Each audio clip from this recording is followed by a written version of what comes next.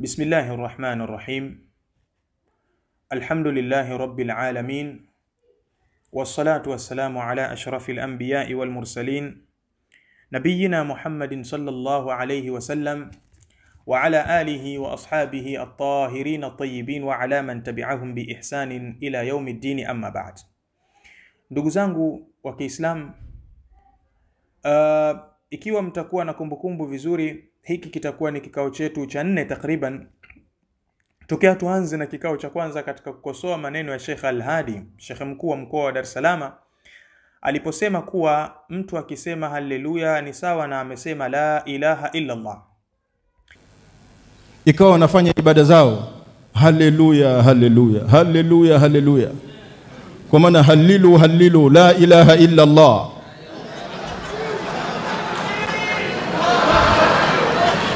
usipate tabu haleluya haleluya ndio la ilaha illa Allah halilu halilu. Semeni la ilaha illa Allah Mungu mmoja.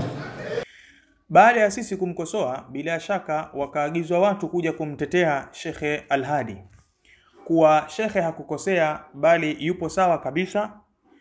Tukajibizana katika video mbili tatu lakini kikubwa ambacho tulikuwa tukikidai sisi kilikuwa kinakosekana kila wanapokuja wale wanaokuja kumtetea sisi tulikuwa tukidai kwamba tunaomba ushahidi kutoka kwenye vitabu vya kielimu vinavyothibitisha kuwa mtu akisema haleluya maana yake amesema la ilaha illa Allah lakini kwa taufiki ya Allah subhanahu wa ta'ala kwa mara ya mwisho waliokuja kumtetea Sheikh Al-Hadi baada ya kuona kwamba katika vikao vya mwanzo msaada umekuwa mdogo sana eh, na wameshindwa kupata hicho kitabu wakenda wakatafuta msaada eh, kwa baadhi ya watu wengine na tumeona kama walivyokuja na sura mpya katika video yao hiyo ya mwisho.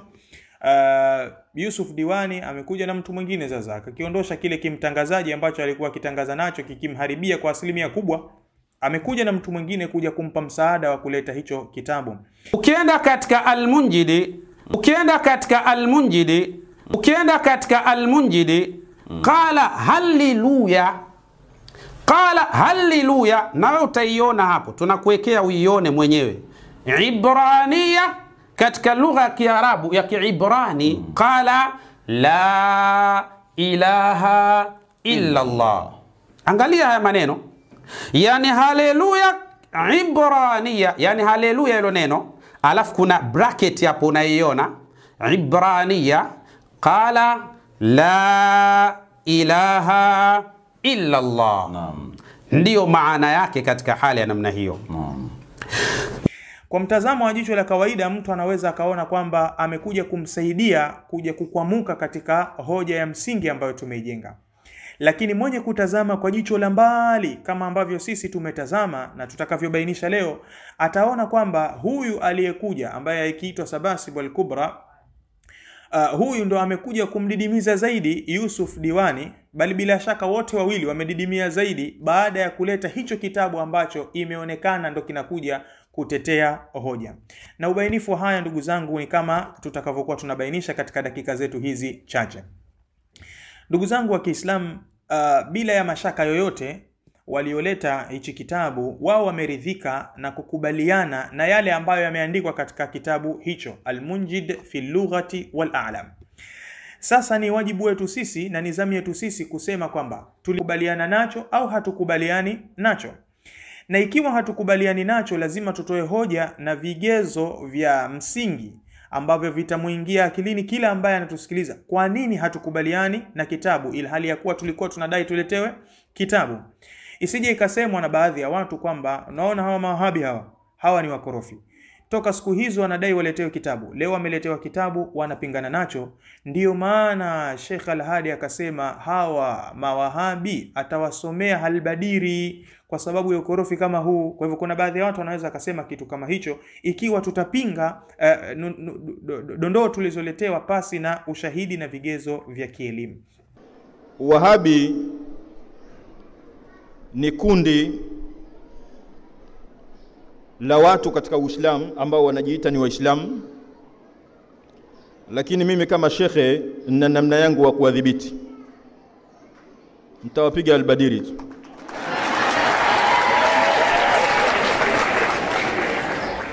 Tutawapiga vile vitu vyetu na Sharifu anajua Abdul Qadir Skaba Skuba yuko pale. Tukipata tu yale majina yao ni nani na nani na nani, basi alafu wataangaika nayo. Kwa hivyo lazima tutoe vigezo vya kielimu, kwa nini tunapingana na yaliyomo katika kitabu hicho.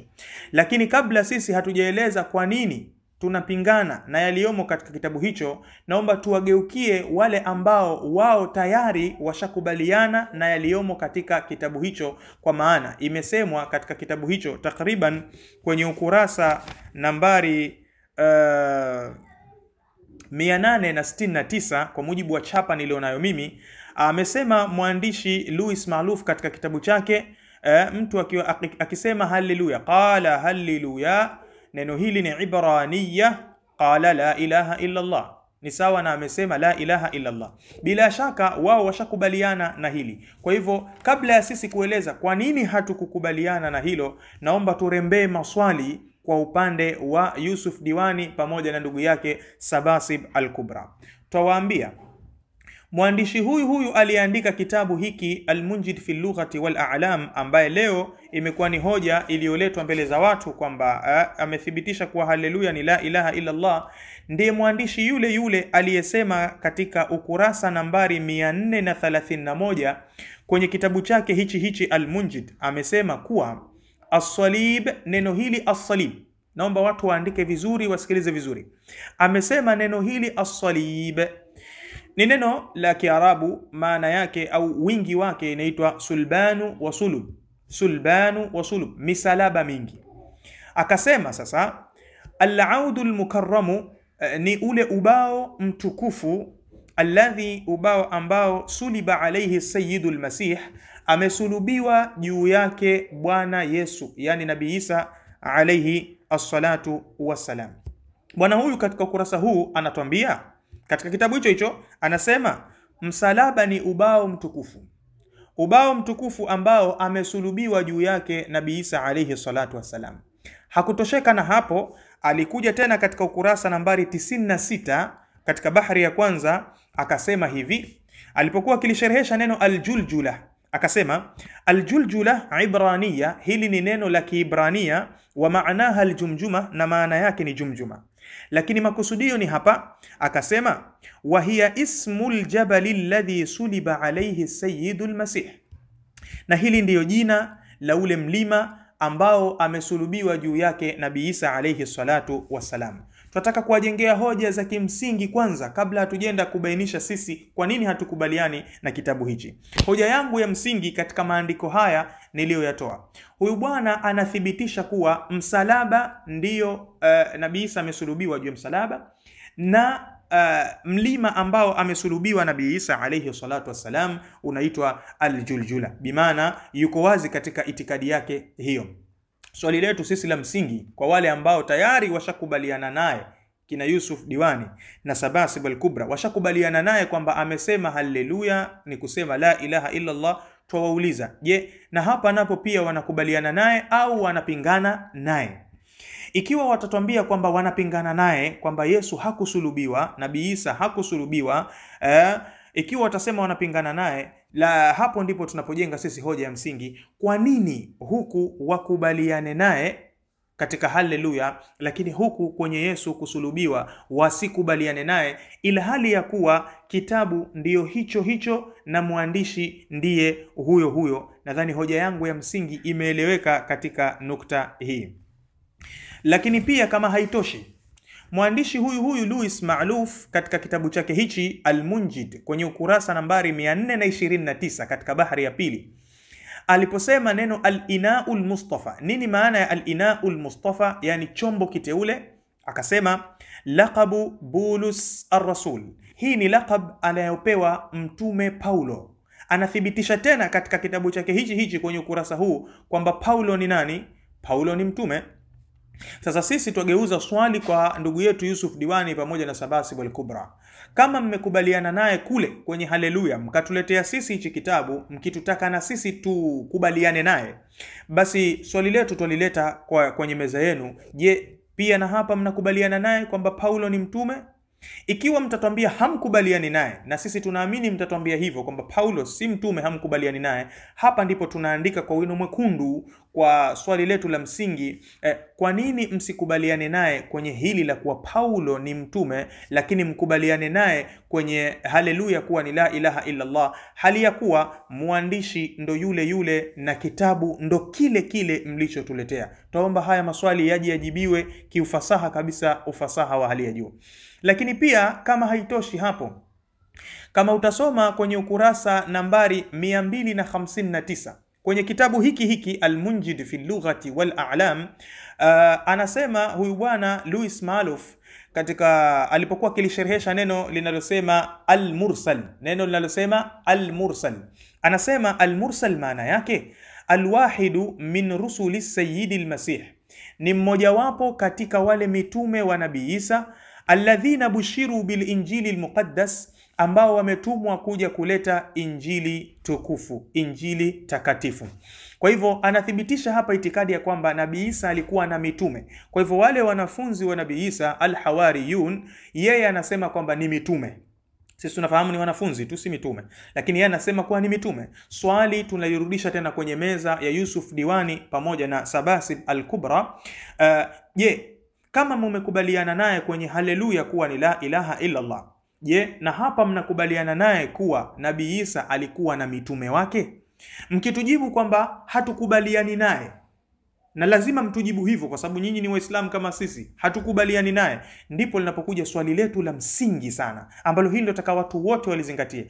Kwa nini musikubaliane naye kwenye hili liloliomo katika ukurasa wa 259 nabii isa ana mitume wake lakini mukaendelea kukubaliana naye katika lile la haleluya ni la ilaha illallah. Lazima maswali haya tuje tujibiwe kiufasaha kielimu. Kitabu ndo hiki hiki mwandishi ndo yule yule. Kwa nini huku mkubaliane naye au huku msikubaliane naye? La kama mnakubaliana naye katika yote pia mtakuja kutwambia tunakubali sisi. Nabii isa kasulubiwa katika huo mlima wa juljula mje mtwambie mnakubali kwamba paulo ni mtume na mje mtwambie mnakubali kwamba nabii isa alikuwa na mitume. Hali ya kuwa yeye mwenyewe ni nani? Yeye mwenyewe ni mtume. Haya ni mambo matatu ambayo nimetaka kwanza tuyaelekeze kwao kabla ya sisi kuingia katika darsa yetu na somo letu lenye kuelezea kwa nini hatukubaliani na kitabu hiki? Kwanza wanaokubaliana nacho waje watujibu haya. Kwa nini wanakubaliana naye? Huku na huku hawakubaliani naye. Au kama wanakubaliana naye katika yote pia watakuja kutwambia. Ndugu yangu mwislamu sasa tuingie katika uh, mada husika. Kwa nini hatukubaliani sisi na mambo yaliyomo katika kitabu hiki ndugu zangu kuna sababu kuu nyingi ambazo zinatufanya sisi tusikubaliane na huyu bwana katika mambo yake aliyotaja katika kitabu hichi. Na miongoni mwa sababu hizo kwanza ndani ya kitabu kuna makosa mengi. Kuna makosa mengi kama tutakavyobainisha kielimu insha allahu taala. Lakini pili ndani yake kuna kufru za wazi na itikadi zisizofaa kama hayo maswali ambayo tumewajengea hapo nyuma. Ni kufru za wazi na itikadi zisizofaa zilizomo ndani ya kitabu hiki. Lakini jambo la tatu qurani ya kitabu chetu kitukufu kimevunjiwa heshima hakikupewa heshima. Na hayo tutakuja kuyabainisha huku mbele tunakokwenda. Kwa kuyatizama haya ndugu zangu wa kiislamu ndo tukaona kwamba hiki kitabu hakifai wala hakikuwa na hadhi ya kuletwa mbele ya waislamu. Na ndio maana nikasema sabasibu Kubra aliyekuja kumsaidia kwa mara ya mwisho yusuf diwani eh, huyu ndo amekuja kumteketeza. Yaani yale makosa yaliyopita kule nyuma tuliyomkosoa yusuf diwani yatakuwa yote hayana maana kulikoni mara hii alipokuja kuleta kitabu hiki. Ndugu zangu wa kiislamu ukichukua kitabu hiki almunjid fi lughati wal a'lam. Ukiingia katika ukurasa nambari mia moja na tatu katika ukurasa nambari mia moja na tatu kwenye bahari ya pili mwandishi wa kitabu alipokuwa anaelezea neno ja, ja, janaba fiili hii janaba akasema ikisemwa kwamba janaba rajulu mtu amepatwa na janaba maana yake nini? Tanajasa maana yake amenajisika. Dhibiti vizuri haya makosa yaliyomo katika kitabu hichi kisha utapima wewe. Kweli kilikuwa na hadhi ya kuletwa mbele ya waislamu mbele ya wasomi. Wasomi wanadai waletewe kitabu eti watu wanakuja wanaleta kitabu hiki. Kweli kilikuwa na hadhi? Lakini yaonyesha kwamba viwango vya elimu vya ndugu zetu ni viwango vidogo. Wameshindwa kuyabaini haya yaliyomo katika kitabu hiki. Sasa ukisoma kwenye neno janaba aliposema janaba arrajul eh, tanajasa huyu mtu atakuwa amenajisika. Na mwisho huku akamaliza kusema aljanaba yani annajasa. Janaba maana yake ni najis. Ndugu zangu hakuna muislamu anayeweza kukubaliana na hili eh, kwamba mtu akipatwa na janaba amenajisika. Kwa nini muislamu hawezi kukubaliana na hili? Kwa sababu hadithi ya mtume sallallahu alaihi wasallam aliyosimulia limamu lbukhari hadithi nambari 283 kadhalika limamu muslim hadithi nambari 371 inapingana na haya kwamba mtu akipatwa na janaba tayari ashanajisika inasema hadithi ya mtume sallallahu alayhi wasallam anna nabiya sallallahu alayhi wasallam laqiyahu eh, laqiya aba huraira yani hadithi ni abu huraira kwa hivyo anna nabiya sallallahu alayhi wasallam laqiyahu fi ba'dhi turuqi lmadina, mtume sallallahu alayhi wasallam alikutana na abu huraira katika baadhi ya njia za madina wa huwa junubun na hali ya kuwa abu huraira ana janaba. Bas anasema abu huraira qala fankhanastu minhu mimi nikamkwepa. Nikamkimbia mtume sallallahu alayhi wasallam fadhahabtu faghtasaltu nikenda zangu nikakoga thumma ji'tu kisha nikaja mbele ya mtume sallallahu alayhi wasallam anasema abu Huraira uh, faqala mtume akaniambia aina kunta ya aba hurairata, ulikuwa wapi we abu Huraira, mbona sikukuona hapa katika kipindi hiki? Qala abu hureira akamjibu mtume sallallahu alaihi wasallam kwa kusema kuntu junuban mimi nilikuwa na janaba fakarihtu an ujalisaka kwa hivyo nilichukia kukaa na wewe ya rasulallah wa ana ala ghairi tahara hali ya kuwa mimi siko katika tahara. Yani abu hureira anaitakidi kwamba mtu akiwa na janaba anakuwa amenajisika ule mwili ushakuwa ni najis kwa hivyo hawezi kukaa na mtu ambaye ni msafi hususan mtu ambaye anamheshimu kama vile mtume sallallahu alaihi wasallam. Sasa akamwambia mimi nimechukia kukaa na wewe katika mazingira kama hayo. Faqala mtume sallallahu alaihi wasallam akasema subhanallah. Yani kwa kushangaa kabisa mtume anasema subhanallah na hili jambo nadhani tunalielewa sote kwamba linapotokezea jambo la kumshangaza mtu mtu husema subhanallah. Ndio mtume akashangaa asema subhanallah innal mu'mina la yanjus hakika mu'min hanajisiki ndugu yangu muislam hapa katika hadithi hii uh, tunaonyeshwa wazi kwamba mtume anaipinga na kuisahihisha itikadi ya abu hureira pale alipoitakidi kwamba mtu akiwa na janaba maana yake amenajisika hawezi kukaa na mtu aliyekuwa msafi.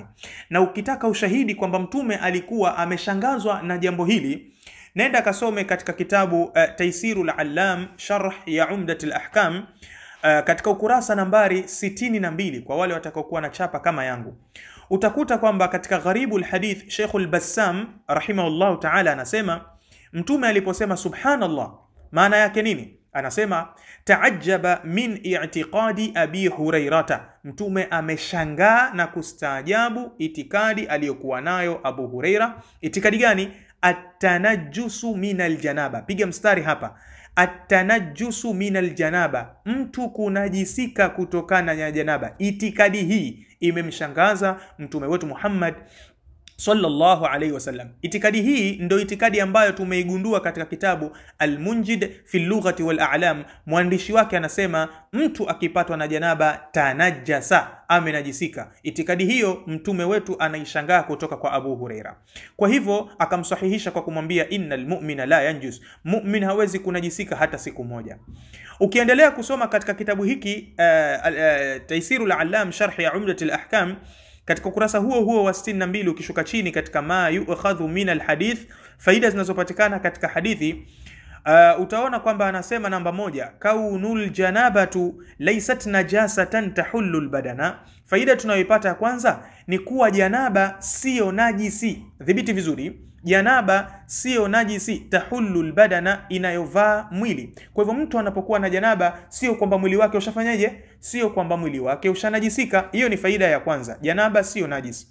Lakini faida ya pili kaunu linsanu kule kuwa mwanadamu la tanjusu dhatuhu. Piga mstari hapa. Mwanadamu najisi yake haif, eh, mwili wake haufanyi nini? Haunajisiki. La tanjusu dhatuhu mwili wake haufanyi nini haunajisiki. Kwenye kitabu almunjid imesemwa mtu akipata na janaba maana yake amefanyeje? Tanajasa amenajisika. Vitabu vya kiislamu maulama wanatuambia hapana. Mwanadamu hanajisiki la hayan wala mayita si akiwa hai wala si akiwa amekufa. Walaisa maanahu lakini anasema na haimaanishi anna badanahu la tusibuhu najasatu au tahullu bihi ya kwamba mwili wake hauwezi kuingiwa na najis au hauwezi kuvaa kuva, ku, kuenewa na najis. Yani sio kwamba mtu eh, hawezi kukanyaga kinyesi au hawezi kugusa kinyesi. Haimaanishi hivyo. Faqad takunu ainuhu yani dhatuhu mutanajisatan idha asabathu najasa kwa hakika inawezekana mwili wake mwanadamu ukawa umenajisika pale ambapo utaingiwa na najis yaani hapa anafafanua kusema kwamba mtu anaweza kukanyaga kinyesi. Asije akasema a, tumeambiwa mwanadamu hanajisiki. Ukisha kukanyaga kinyesi utaambiwa mwili wako ushaingia nini ushaingia najisi pale pahala ambapo umekanyaga kinyesi pale ndo patakuwa. Pamefanyeje? Pamechafuka. Unasafisha pale halafu mwili umebakia katika hali ya kawaida. Sio kwamba mwili umenajisika wote kwa sababu ya kukanyaga nini? Kwa sababu ya kukanyaga kinyesi. Kwa hivyo uh, hii ni ubainifu kwamba aliposema katika kitabu chake almunjid alikosea Uh, Sheikh al-Bassam rahimahullahu ta'ala ana, anathibitisha kosa lile kwamba ha, ha, haliko sawa, lakini pia ukija katika kitabu uh, Majmu'ul Fatawa wa maqalati Sheikh bin Baz rahimahullahu ta'ala katika mujallad nambari kumi ukurasa nambari 185 alipoulizwa Sheikh Ibn Baz rahimahullahu ta'ala kuhusiana na janaba na wakati gani mtu atakoga janaba, shekh Ibn Baz akajibu kwa kusema aljanabatu wasfun lirajuli walmar'a, janaba bwana ni sifa, sio najisi. Najisi ni kitu, hapa lazima tufahamiane vizuri. Ukisema najis ni kile kitu, mkojo, kinyesi, hivi ndio vinaitwa nini? Najis au damu, hivi ndio vinaitwa nini? Najis. Kitu usaha ndio inaitwa nini? Najis. Lakini ukisema uh, janaba, janaba inaingia katika upande mwingine wa hadathi, sio upande wa najis. Hadathi ni sifa inayokaa katika mwili wa mtu tunaelewana vizuri? Ni sifa inayokaa katika mwili wa mtu ambayo inamzuia kufanya ibada. Ndio maana shekhu eh, ibnu baz anasema aljanaba wasfun ni sifa. Lirajuli walmara ni sifa ya mwanamme na mwanamke. Idha hasala minhuma jimaun itakapopatikana baina yao wawili tendo la ndoa wakiingiliana tayari watapata sifa hiyo au nuzulu lmanii bishahwa au wakitokwa na manii kimatamanio. Mtu akamtoka manii kwa shahwa. Nadhani tunafahamu sisi watu wazima vipi manii yanatoka kimatamanio. Tofauti na wengine yanapowatoka kwa ugonjwa. Kuna watu wanawatoka kwa ugonjwa anatoka laha hisi kama ametoka manii. Manii akitoka na msisimko wake fulani kwa hivyo mtu akitokwa na manii kwa matamanio walau min ghairi jimain hata kama si kwa tendo la ndoa lakini ametoka manii kimatamanio tayari ile sifa ya hadathi inakuja katika katika mwili wake. Kwa hivyo bado mwili utabakia kuwa na sifa hiyo lakini haukunajisika mwili bado ni msafi. Isipokuwa tu sifa ile itamzuia yeye kufanya ibada ambazo zimewekewa sharti la tohara. Tunarudi katika nukta ya msingi ndugu yangu muislamu kwa nini tunapingana na kitabu hiki na hatukubaliani nayo nacho kitabu hichi? Kwa sababu ndani yake mna makosa makubwa makubwa. Kwa mfano hili la kusema mtu akipatwa na janaba amefanyaje? Amenajisika. Hili ni jambo ambalo linapingana na sheria yetu ya kiislamu. Naomba nikupe tanbihi ndogo ndugu yangu muislamu. Pale mwenyezi mungu aliposema innamal mushrikuna najasun hakika washirikina ni najis. Unaweza ukajenga hoja mbona imesema washirikina ni najis? Lazima ufahamu vizuri najasa inayozungumzwa hapa ni najasatun manawiya ni najisi ya kimaana. Yani najasatul i'tiqadi ni najisi ya kiitikadi. Kwamba mtu anapokuwa na itikadi ya kishirikina mwenye kumshirikisha mungu huyu anakuwa ni najis kutokana na itikadi yake na mumin kutokana na itikadi yake ye mumin anakuwa tahir kwa sababu itikadi yake ya tauhidullahi subhanahu wa ta'ala. Kwa hivyo hii nukta nataka uifahamu vizuri kwamba najasa hapa sio kwamba ukimshika mshirikina hivi mwili wake tayari umeshika najis. Hapana ukimshika mshirikina hukushika najis bali unajisi wake ni unajis wa itikadi yake. Hii nukta nataka ieleweke vizuri.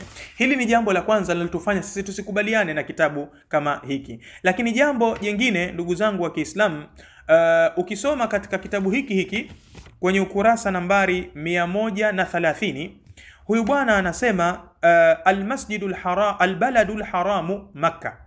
Walmasjidu lharamu alkaaba hapa napo pia kuna kosa jingine ambalo muislamu yoyote hawezi kukubaliana nalo awe muislamu hata hakusoma dini ukiachilia mbali waliosoma dini kwamba mtu akiambiwa almasjidul haram eh, msikiti mtukufu ni ile Alkaaba. Hili jambo hawezi kukubaliana nalo Muislamu yoyote hata ambaye hakusoma dini. Kwa nini?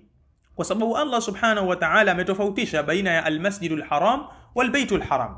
Allah katika suratu uh, Bani Israil, yani sura ya 17 aya ya kwanza amesema subhana alladhi asra biabdihi laylan min almasjidi lharam ila almasjidi laqsa, ametakasika Allah ambaye amemtoa mja wake Muhammad usiku mchache sana kutoka katika masjidi lharam kuja katika masjidi laqsa. Kwa hivyo masjidi lharam ni ule msikiti mkubwa, msikiti mzima ule ndio unaitwa masjidul haram.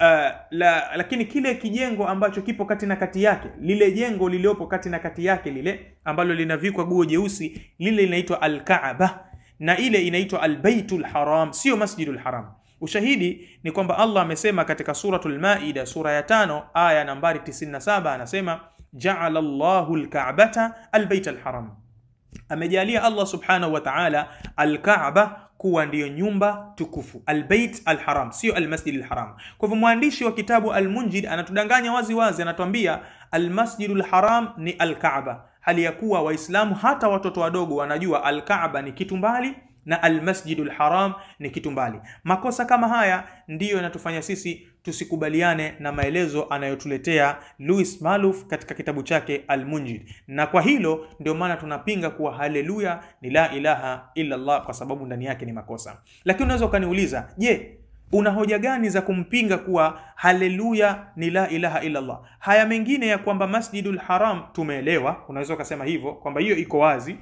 na masala ya janaba kakosea, hiyo iko wazi, tumeelewa. Kwa nini haleluya unapinga? Labda una, unataka kujenga hoja eh? Naam, vizuri. Ukisoma katika kitabu chake huyu Louis Maluf katika ukurasa eh, nambari 889 ndipo aliposema kwamba mtu akisema haleluya amesema la ilaha illa Allah. Kwa nini tunapinga na kwa hoja gani tunapinga? Ndugu zangu, lugha yenyewe ulimwenguni, lugha zilizopo zinakataa kuwa haleluya ni la ilaha illallah.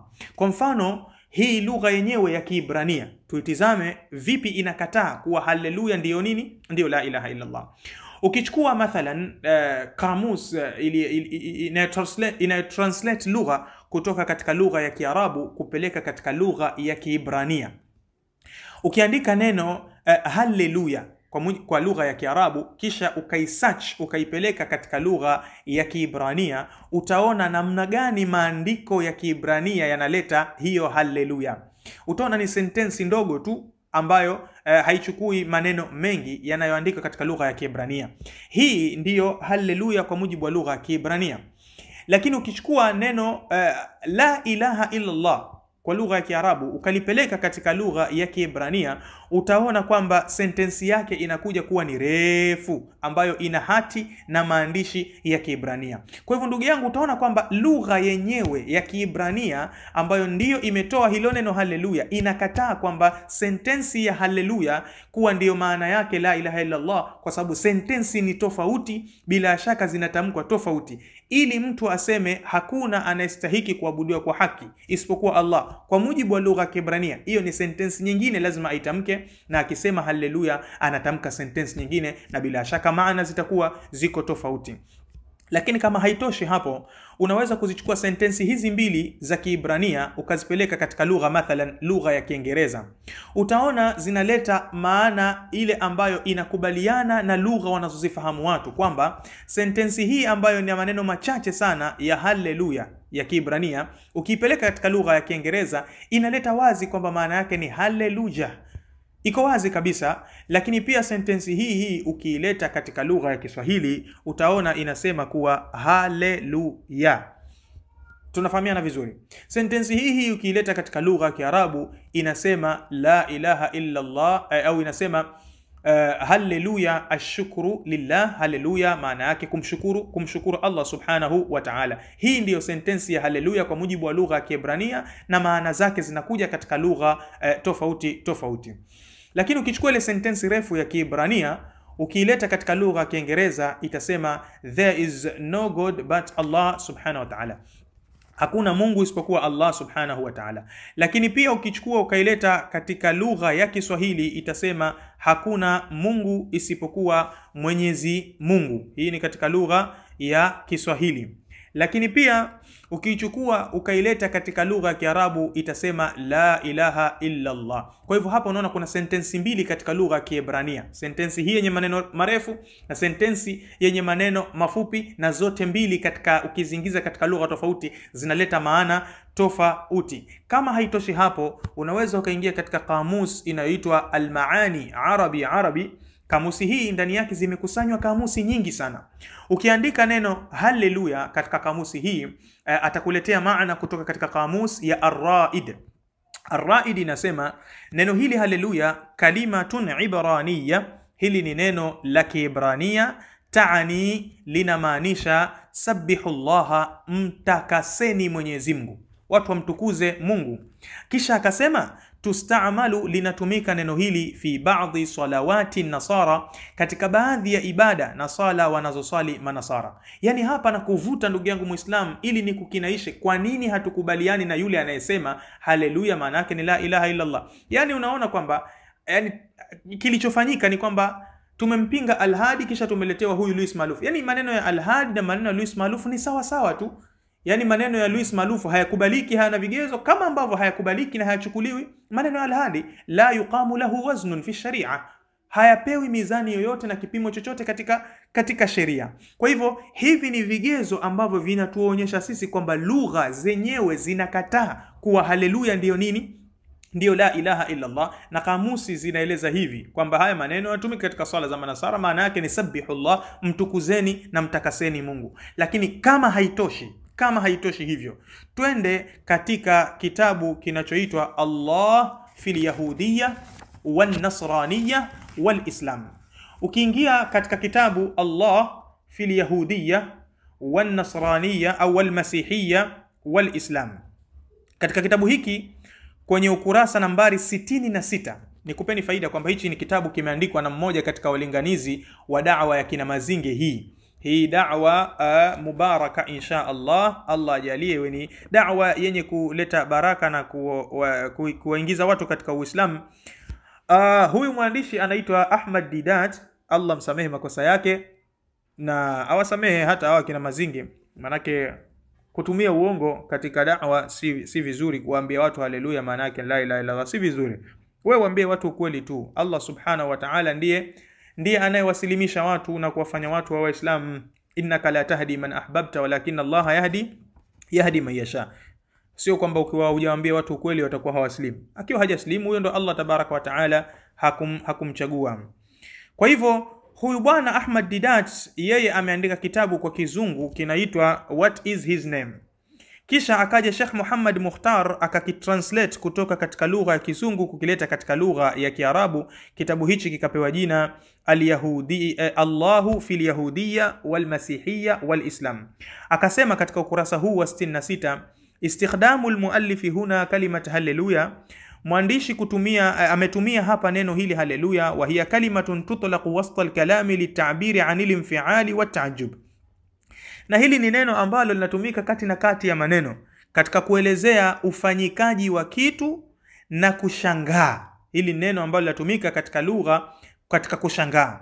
Kisha akasema, na hapa ndipo ninapopakusudia, wataani bilughati libariya, na neno hili linamaanisha katika lugha ya Kiibrania sabbihullaha au majidullaha Mta, mtakaseni Mungu na upungufu au mtukuzeni Allah tabaraka wa taala kwa sifa zake zilizotukuka. Yaani, kama haitoshi, bado tunaleta ushahidi huu kwamba kitabu hiki kinasema wazi kabisa, Muhammad Mukhtar, kwamba haleluya maana yake kwa lugha ya Kiebrania, maana yake ni kumtakasa Mungu, kumtukuza Mungu, sio kusema hakuna anastahili kuabudiwa kwa haki isipokuwa nani? Isipokuwa Allah. Kwa hivyo kama wewe unataka kuniuliza kwa nini unampinga mwandishi wa Al-Munjid fi lughati wal a'lam kusema kwake haleluya ni la ilaha illa Allah, nampinga kihoja, kwa sababu kwanza lugha inakataa, pili wasomi kwenye vitabu eh, wanakataa kuwa maana yake ni la ilaha illa Allah. Kwa hivyo hapa, ndugu zangu, tutakuwa tumepata somo zuri sana, kwa nini sisi tunapinga. Kilichobakia sasa ni wao ambaye wamekubaliana naye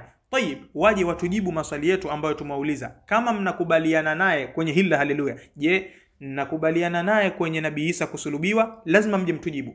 Mnakubaliana naye kwenye Paulo kuwa mtume? Lazima mtujibu. Na mnakubaliana naye kwenye Nabii Isa alikuwa na mitume wake? Lazima mje mtujibu. Na katika hili nataka nitoe challenge kwa ndugu yangu Yusuf Diwani pamoja na Sabasibul Kubra ambaye amekuja kumsaidia katika hili. Natoa challenge watutafutie kwenye kitabu hichi Almunjid fi lughati wal a'lam, Qur'ani kusifiwa kwa sifa ya Alkarim, Alquranul Karimu, kwamba ni Qur'ani tukufu pahala pamoja tu ambapo imetajwa katika kitabu hiki kwamba Qur'ani ni kitu kitukufu kwa sifa hii ya Al-Karim. Tumemwona huyu bwana amesema kwamba al, ule msalaba ni alaudu lmukarram, ni ule ubao mtukufu wenye kutukuzwa, lakini hajapatapo kusema kwamba alquranu lkarim, quran ni kitu kitukufu.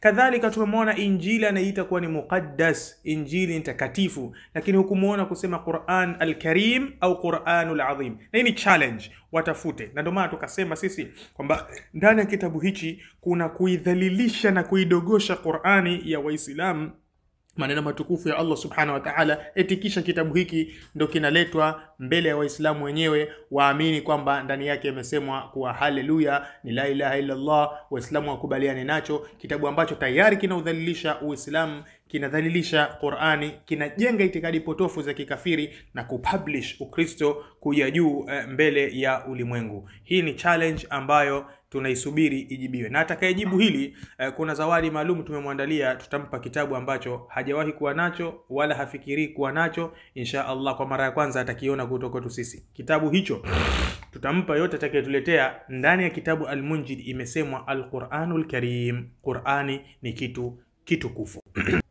Ndugu zangu, jambo la mwisho ambalo nataka nikupeni muondoke nalo, hili liekeni akilini vizuri, nimeliweka mwisho ili mlizingatie.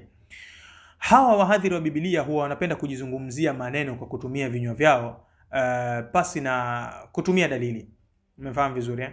Huwa wanapenda kutumia maneno hayo. Alhadi amekuja kutuambia uh, haleluya maana yake ni la ilaha illa Allah. Karopokwa, sisi tunajua hivyo, lakini Ahmad Didat anapingana na Alhadi.